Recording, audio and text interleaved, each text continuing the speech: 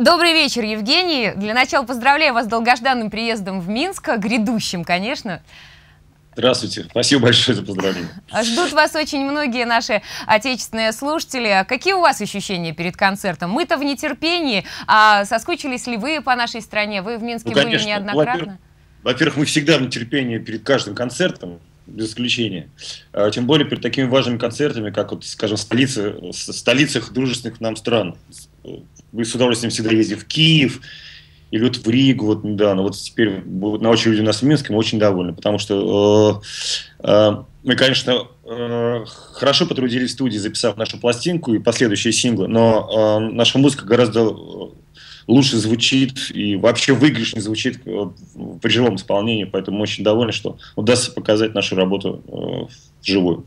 Ну вот о том, что вы будете исполнять, и хотелось бы поговорить в подробностях, потому как э, текила джаз на сцене в Минске уже видели, Зорги еще нет. А какова будет программа, что э, наша публика услышит? Много ли будет текила джаза, вот интересуется народ? Ну, э, ну во-первых, мы, естественно, будем играть э, э, целиком программу нашу, э, которая э, известна по по группе Зорги, то есть это не имел отношения к группе Tequila Jazz никакого. Ну, это, на концертах вы иногда текила джаза песни исполняете, да, да, вот в чем вопрос. Безусловно, концерты мы играем гораздо длиннее, чем э, формат пластинки. Соответственно, песен в э, концерте звучит больше. И мы позволяем себе э, э, более-менее обширные экскурсы в историю группы Tequila Jazz э, на каждом концерте. Плюс-минус, не знаю, 5-6, иногда даже больше бывает песен. Э, которые, на наш взгляд, э, адекватно выглядят э, в программе группы «Зорги». Вот интересовались пользователи, то есть просить на концерте вас любимые хиты текила джаза вообще не стоит. Вы на это не обижаетесь? Нет, мы не, мы не обижаемся, потому что мы знаем прекрасно, что люди с гораздо большим ну, удовольствием слушают песни, давно полюбившиеся, и в этом смысле ну, не нам запрещать людям ту или иную музыку. Другое дело, что мы не всегда идем э, навстречу, не во всех пожеланиях идем навстречу, поскольку некоторые песни, конечно же, они абсолютно неразрывно связаны с ребятами, которые исполняли в Текиле, и нет никакого смысла исполнять э, э, в отсутствии, скажем, Саши Воронова, барабанщика, да, великолепного.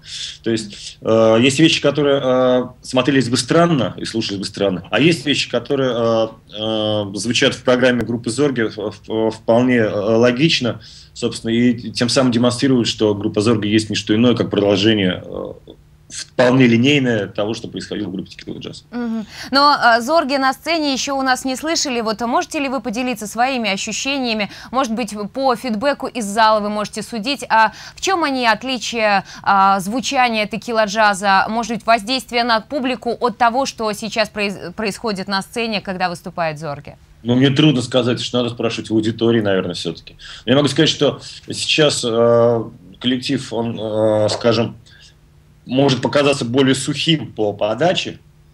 Э, мы не склонны э, э, проезживать наши выступления большими пространными диалогами с аудиторией, рассказывать анекдоты, вот все как, чем с лейбл с группы Tequila Jazz.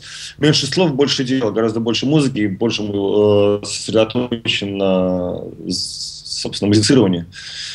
Вот. Поэтому, может, мы покажемся кому-то излишне сухими, как раз подстать нашему немецкому имени. Но ведь музыка главная эмоция. А какова эта эмоция, которую несет Зорги со сцены? Ну, мне трудно сказать, э, удается ли нам достичь э, того результата, который мы планировали, когда записывали и, и сочиняли наши песни. Это, конечно же, вопрос к слушателям. Но мы надеемся, что вот эта музыка про дикие, странные, опасные и веселые приключения, которые мы для себя придумали, вернее, не то, что придумали, просто мы фиксируем э, в виде нот, звуков и так далее все вещи, которые происходят с нами в, в реальной жизни. Угу. Да, наша жизнь полна всяких э, чудес, путешествий, э, э, всевозможных каких-то приключений и так далее. Ну, раз уж заговорили о путешествиях и приключениях, то хотелось бы узнать, э, как вы готовитесь, а вы уже в нескольких интервью об этом заявляли, вот к своему большому а, транссибирскому э, приключению. А, вот, э, вы и заявили о том, что книгу будете в поезде писать и песни записывать. А, чем обрастаете, как готовитесь, и вы собираетесь это освещать еще, насколько я понимаю, в блогах, где искать ваши путевые заметки? Ну, ну мы не хотим делать из этого никакой рекламной акции, на самом деле это было изначально планировалось как абсолютно частное такое частное перемещение э, там двух друз... трех друзей из с одной, с одной точки планеты в другую. Так получается, что все вдруг э, заинтересовались э, этим. И, что, и, естественно, каким-то образом будем э, транслировать наши впечатления с дороги. Это будет зависеть уже от качества интернета во время движения Транссибирского экспресса. Мы не, мы не знаем, что там происходит с интернетом, как раз сейчас буду вести разведку. Вот. Соответственно, э, у нас всегда с собой какая-то минимальная техника, компьютеры, которые в, в, при любой э, пер, первой необходимости могут быть э, использованы как записывающая студия. И мы это делаем частенько, поскольку э, мы все время в дороге, и, и вместе с группой, я без группы тоже все время в дороге, и поэтому микростудия у меня с собой практически всегда круглосуточно. Uh-huh. Вот. А что касается книги, мы просто, я планирую э, вот эту неделю провести э, за уже дописанием э, оставшихся э, серий нашего вот этого проекта под названием «Монголоид», uh-huh. поскольку не, не, не чисто музыкальный проект, там есть и музыка, и есть нарратив так, так, так называемый, то есть это история, э, написанная э, русским языком, по большей части в прозаическом ключе. Э, мне надо ее доделать, и наконец это удастся уйти в такое, ну, если не затворничество, то, по крайней мере, в такой какой-то творческий отпуск э, в поезде, на дороге. Чтобы я не люблю лежать на, под, под пальмой или где-то там на пляже. Э, не могу себе представить в, в такой ситуации никак. Отдых в движении.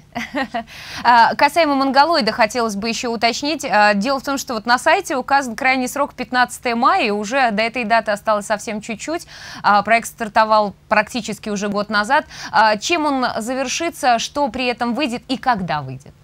Знаете, судя по всему, мы не уложимся в э, обозначенные сроки, потому что история разрастается, история корректируется э, событиями, которые вообще происходят на планете ежесекундно. Вот. И, и видимо, серии будет больше, чем ожидалось. И, скорее всего, будем э, финальную какую-то черту подводить э, осенью 2013 года, где-то в сентябре-октябре. Безусловно, будем что-то выпускать. Э, мы еще не придумали форму, поскольку сейчас, э, сейчас уже это большое количество материала. На один компакт-диск все это уже не влезет давно. Uh-huh. Вот. Мы, видимо, будем разбивать, будем делать литературную часть отдельно, э, песенную часть выпускать отдельно. И не исключаю, что э, инструментальная музыка, которая там звучит в качестве подкладки, э, вернее, равноправным такого участника вместе с, с с авторским текстом. Мы эту шумовую и всякую амбиентную музыку тоже, наверное, будем пускать отдельно. Либо делать какой-то многотомник, э, с, э, каждый из томов, которого будет посвящен тому или иному взгляду на многолюдие. Угу. Ну а еще какие ближайшие планы? А, я поинтересовалась вашей концертной афишей, все-таки уже второй концертный сезон в вашем коллективе стартовал. И почему там э, так мало дата? Всего Москва, Владивосток, Питер после Минска идут. А что потом? Почему затишье? Там, там, там просто, видимо, еще мы, мы не укладываем по, по, по, заранее. У нас там есть и Ростов, и Краснодар, и Соединенные Штаты Америки, и, и Канада, и, и Тбилиси снова. То есть, ну, будет много городов. Угу. Довольно много. Но мы э, не, не собираемся такую соковыжимательную какую-то э, политику вести. То есть мы играем именно столько, сколько нам хочется. Угу. То есть один раз, два раза в неделю, скорее всего, это максимум будет. Радостно, что в Минске хочется. Очень вас будем ждать. Большое спасибо за интервью. А, ну и, конечно, ждем всех наших пользователей на вашем концерте. До свидания. До свидания.